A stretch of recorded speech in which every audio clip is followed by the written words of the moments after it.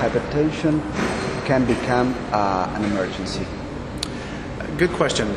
Nobody really knows the frequencies. Um, certainly, as blood pressure is elevated for longer and longer, those people are, are prone to develop an emergency. But as, as far as the numbers, nobody really knows the percentage that actually develop it.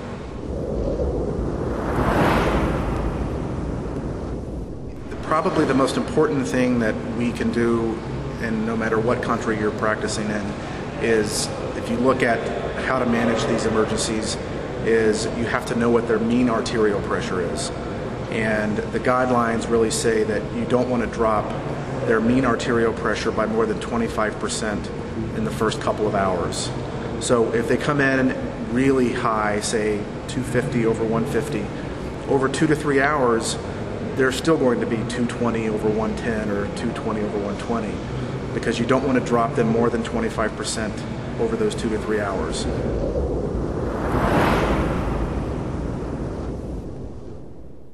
I think if you look at the evidence that we have, common sense that we should be using, that if you have a patient who's looks well, asymptomatic, and despite that has a really high blood pressure, if they have follow up and you can put them on medications, they can really go home despite whatever the number is safely.